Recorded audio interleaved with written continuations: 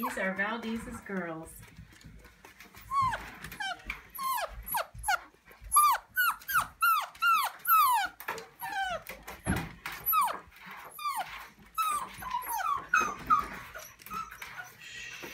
She just wants to be with people.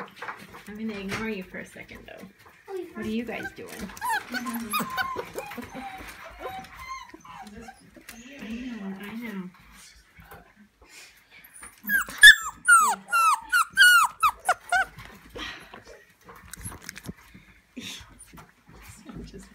wants to eat my phone.